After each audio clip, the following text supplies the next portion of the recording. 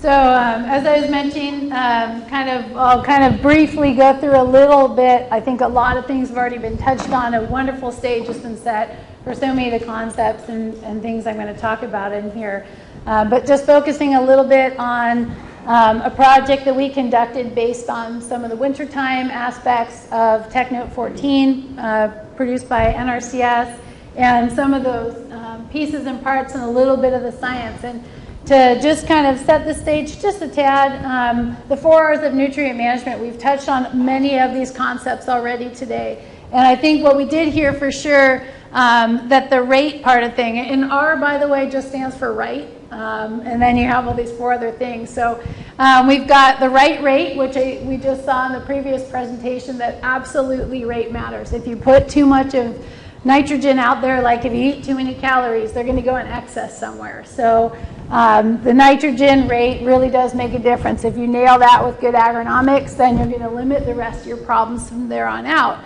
Uh, the source also matters, whether that be from different types of manure or different types throughout the year or different manure or uh, fertilizer sources, period, um, as well. And the right placement, of course, you want to put this in the right places. You don't want to put it too close to water bodies or over susceptible areas, etc. But more importantly, what I'm going to talk about is the right time. And so what we created was something called application risk management uh, or ARM, which I'll refer to it as, and it focuses on the timing of application and will show how that makes a difference uh, throughout the year. Um, so the grant that I'm referring to was an EPA watershed grant that we're very grateful that we got, and then we've had some other supplement little piece come into that. Uh, USGS has been a partner with us on some of our groundwater monitoring as well, which has been a really nice partnership and our collaborative data has produced some interesting uh, results and dynamics that we've been able to see.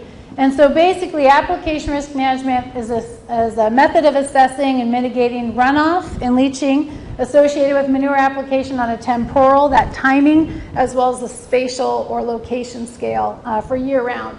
I'm obviously going to focus on the winter time. Uh, what ARM is not, and I always have to say this is not a storage alternative. This is not a way for you to dump uh, manure, which is waste management, not manure management, um, at inappropriate times. And it's not a method to determine agronomic rate. So it's really just about determining risk associated with when you're putting out manure and where you're going to put it. When should this be used? All year round. Obviously, you should always have good practices, but today I'm going to mostly focus on winter since that's a bit about what this symposium is focused on. So mostly nitrogen aspects and mostly wintertime application and what that looks like. But what we do throughout the year absolutely affects what happens during that other time period. So I'm going to link back a little bit to some of these things. Um, essentially, also what's important is when we talk about winter and we talk about application in Western Washington, which is another, um, is kind of the focus area, we're talking about application to forages uh, for the most part. If you're applying to fallow fields, you may want to go take a step back and look at that whole agronomics piece. So we're definitely talking about forage application in that period as well. Uh, and where this project kind of spawned from essentially was the TechNote 14, the winter spreading application that was put out um, 2002 uh, by NRCS. And in there and in the 590, there's essentially language that says that application of manure, particularly during the winter period, must meet appropriate criteria, and those include a risk assessment process and to evaluate that risk of applied nu uh, nutrients associated with movement to surface and groundwater. And there's language in there, and specifically in the Tech Note 14, which was revised this February, that defines Pieces such as you need a risk assessment process, some type of site characteristic evaluation, uh, what are the soil conditions and what are limitations. So we took all that data and we kind of, all those concepts and ideas, and we said, all right, let's create a system that farmers can use real time to evaluate these conditions and make better decisions so that we are limiting that groundwater and surface water contamination pathway. And so what we did is there's essentially, if a producer wants to apply, they need to go now through a handful of processes. And of course, determining agronomic rate, is it appropriate to go out there in the first place? And if so, how much? And then once that's determined, then it's, we've created a couple tools, which I'm going to show you, a manure spreading advisory, along with seasonal manure application setback distances, uh, looking at field evaluation risk maps, so knowing your fields on your farm specifically and where your hot spots are, what times of year you should be going where. Um, so that's a process. Filling out a worksheet, that's kind of the heart of this, that does that evaluation and risk assessment, and then applying and monitoring your fields. And so um, I'm, uh, this is a year-round assessment, obviously. I'm going to focus on the winter, and I'm going to focus on these three things only. The agronomic rate and applying and monitoring um, have been already talked about in separate arenas and um, are, are pretty obvious pieces. So this uh, spreading advisory, as you can see here, um, it's, it's for all of Western Washington and actually Western Oregon also has this now. And it's a real-time advisory that you can go on a daily basis and it gives color coding for, you know, red is high risk, all the way down to green means go kind of a thing. And it's a way a farmer can go here during, you know, every day and see, okay, what's the risk today? And when they click on their area, they actually get a three-day forecast. So maybe, as you can see, today is low, tomorrow's low. Those are good days to get out, but in three days it's going to be high. So you want to schedule to get things done today. And it can flip such that you may see like it's really high today, but in a couple days it's low. And so a producer can use this to evaluate. So we've taken some uh, more complex things like the forecast and some variables and been able to put that into a tool that they can use to make real-time decisions. And this is specifically for runoff. We're going to be adding in a leaching and soils risk later, um, layer later um, in the year, in the next year maybe. Um, so we're working on putting that in right now. And essentially, um, when they look at those things on this page as well, they have our current manure setback distance. And so instead of just having one distance all year round, we've got a variable distance throughout the year that really correlates to when we can see a potential for a runoff event or some of our bigger issues. And as well as even during the shoulder seasons, we can kind of keep that. Like this year, we had rain really far, big events later than we normally would the other years, so we kept that distance far before it started coming down and vice versa. So we've got a way to communicate with them as well as giving real time text um, to those guys to say, don't apply, but in two days this or whatever. So they get a lot of information there. Um, we're able to even track this, so using Google Analytics, we can see when people visit our webpage and how often they do that. The coolest part is when you overlay the precipitation events onto that, you can see when they look at it and uh, that they look at it at good times. So when we have really big rain events, no one's looking at it ahead of time, which is great because no one should be thinking about applying. But when we start getting into a period of nice weather uh, with fewer precipitation events or ones that are a little bit unknown, you see there's a lot of activity of folks looking at that. So um, people actually use it, which is wonderful. Uh, and then the field risk assessment. So this is kind of a Whatcom County larger perspective here, and I'll bring it down. But the red dots represent dairy operations, and the green, which is a little hard to see, represents fields in our county, and then the background colors represent the risk associated with soils. And this is a very um, kind of 30,000 foot level, if you will, on those. And this is for runoff. And you can see that the red dots here represent our lower risk fields. So there aren't a ton.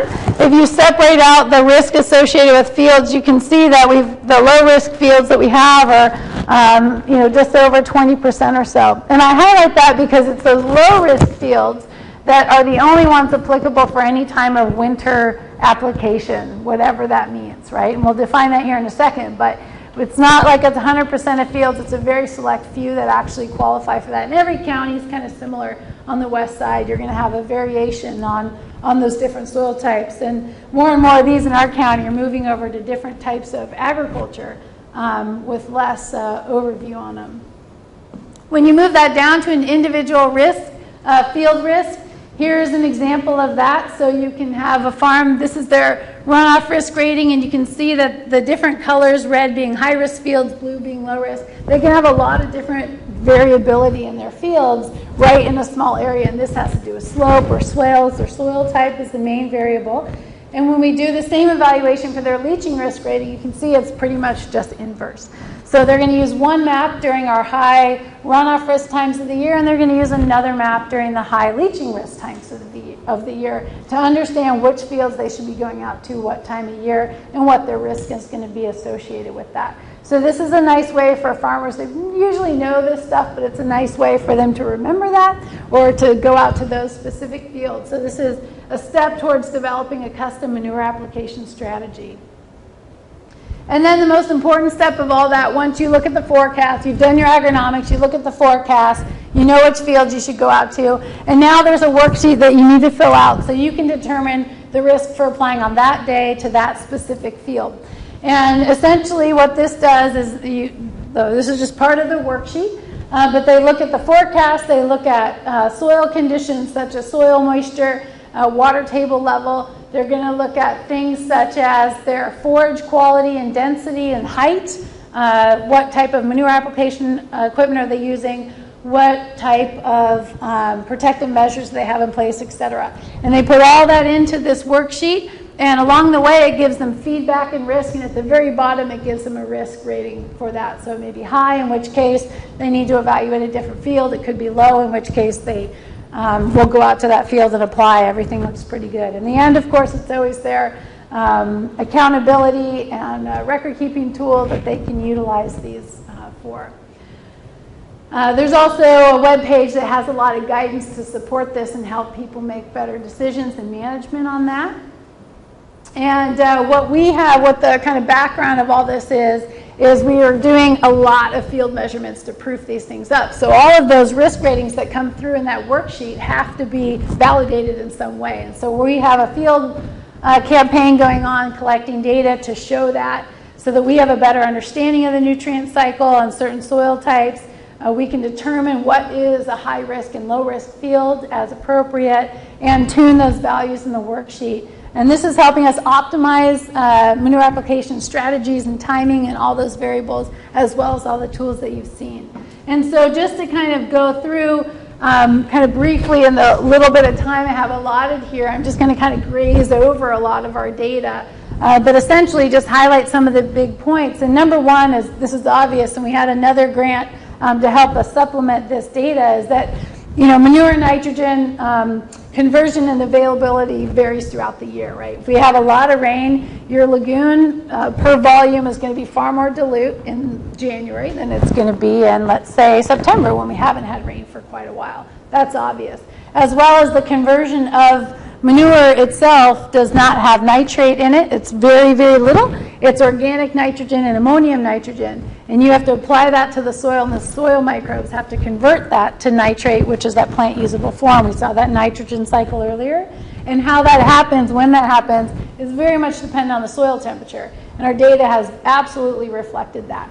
So we can use that when looking at wintertime application, when you apply, and what is going to be that conversion rate. It's going to be really slow, January, February, while our soils are cold and warming up. And it's going to go the opposite at the end of the year. When our soils are still warm, you're still going to have a big conversion rate in September, October, and then it's going to kind of taper off.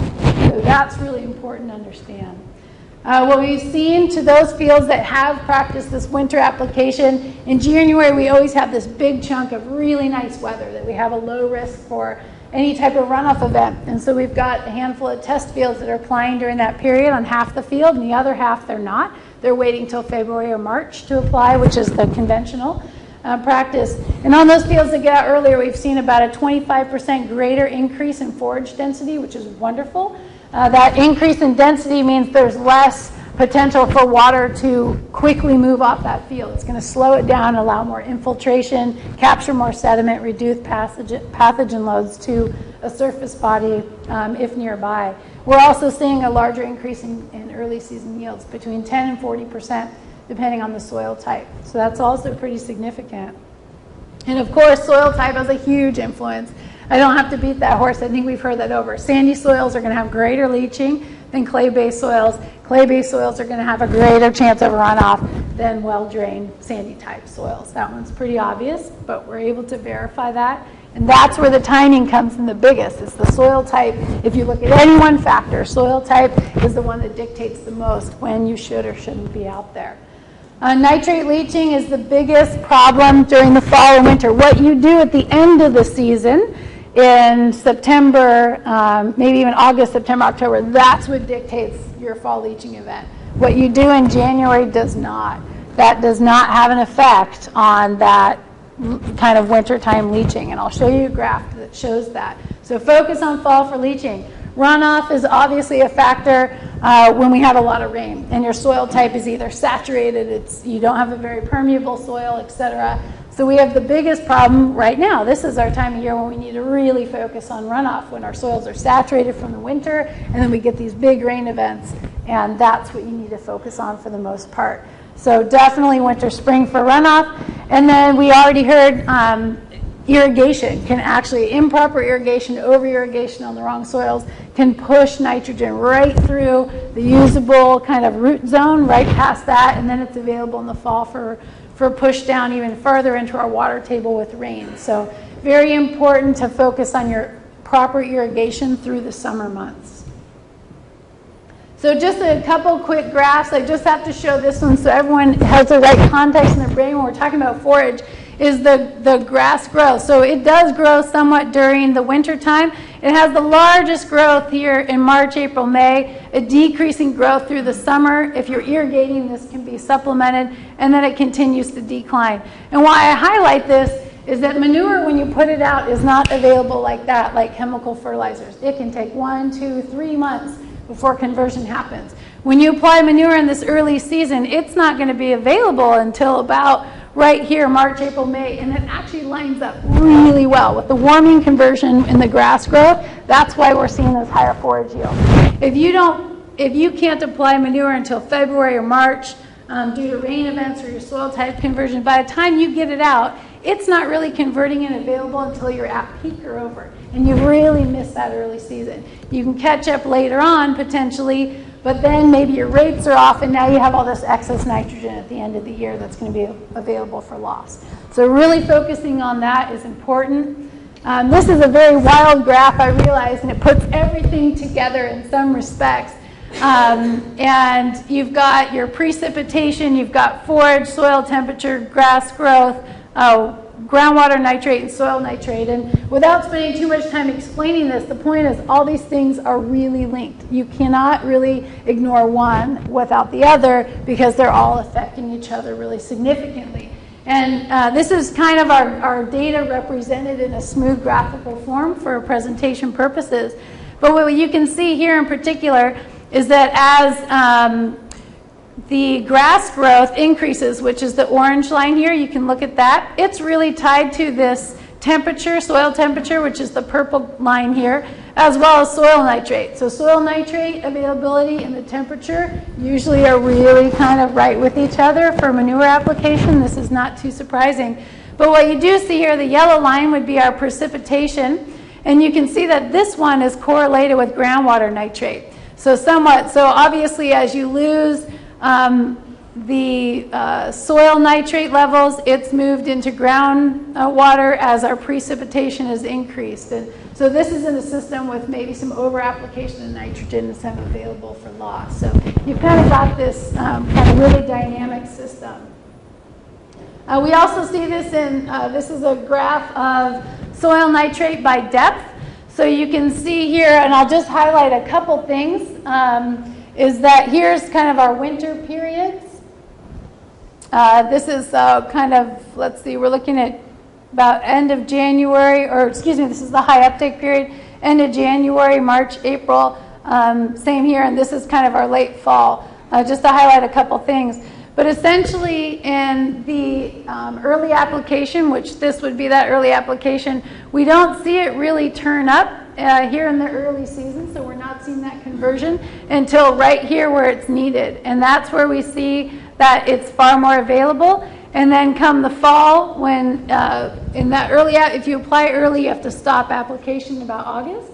And then our other side is um, starting in February and applying late. And that field that you applied to late, all the way through the end of October, we really see that pop up here in the winter time. So that's when we see all of these right here, for instance, um, or all of the depth down to three feet where you can see it just pushing through as that rain comes because it was just out too long in the season. It was available. You got the same amount out there as Shabtai talked about earlier, 400 pounds once or split it up. But the timing of that split makes all the difference in the world. You put it out too late on sandy soils, and you're going to have a huge loss rate. And we're seeing that in our soil. We're also able to see that in the groundwater. And so here's just a, a, the final graph that shows a bit, of, a few of these things all together. So we're looking at groundwater, soil, as well as lysimeters or soil water. So as the water kind of flows through the soil, it's collected into these buckets that are buried down, and we're able to look at that at one, two, and three feet. And essentially, what you're looking here is that the ARM uh, so the circles represent the groundwater, and this is very similar to what Barb um, also kind of presented on. Is the red is conventional, so that's applying, you know, from February to October, and the ARM system is this yellow applying from January and stopping at the end of August. And we see that during the winter, which is right here, so um, here's your late fall application, and you start seeing this split big time. So there's a lot left over, and you can see that in our soil samples that as you go through, it's really showing up here all the way through that winter period. And then it doesn't catch up or kind of equalize until about um, April, May period. And then you kind of see them and they match through the summertime when things, and then they start splitting again. So we've seen this every, all the years we have kind of replicate out. So it really does matter. And what you do see in the soil is that there is far more nitrate available during the growing season in the fields that were applied to earlier than the ones that were applied too late, which is great. That's what we want to see. We want it available for that grass so it can get going. And the blue lines in the background represent precipitation. And you can see that obviously when we get start getting this huge precipitation in that fall period, so this is October, November, December, that's when you really see those things starting to show up. You see the loss come down from the soil and increase into the wells. And so I'm, I know I'm kind of going over this data quite quickly, and we have so much data. Um, but due to time, um, I can kind of talk about some of those principles later. Or now I think we have a few minutes for questions. Um, maybe I can answer some questions if there's any any questions on any of those principles. Yeah.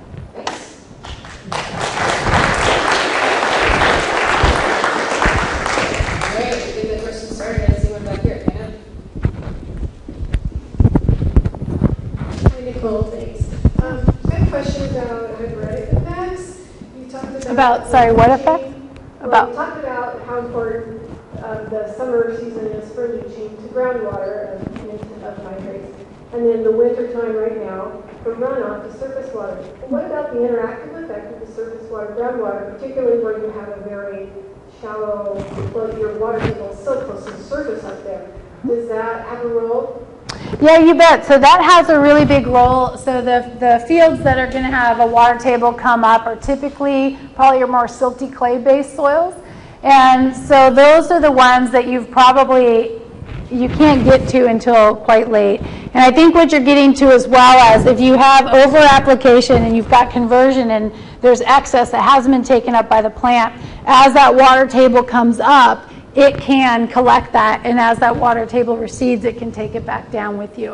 Which is why it's so important to match your rate with your timing on those fields where you know your water table is going to come up to near the surface. And we do have a test field. I didn't present that data here, but we do have a test field that has a soil type and a dynamic system like that. We've only been looking at it for about a year, so we don't have enough data to show much. But what we are seeing preliminary is that those fields actually you want to get out to um, a little bit later and get kind of a coldness. You're going to capture that uh, nitrogen as organic nitrogen and as ammonium. You're not going to get that conversion to nitrate quite yet. But because that water table comes up, and we saw this in another study, you're going to have some denitrification that happens there. So that saturation of the water um, into that soil, you're going to have the losses go that way. So we're still actually exploring that dynamic that you're asking about. Um, if anything, that groundwater surface water interface does happen, and it happens either by a saturation effect where you're going to increase runoff or by a growing and, and taking back down of whatever happened on the surface. So hopefully that answers that somewhat. Okay. Are there questions for Nichole? Am I missing anything?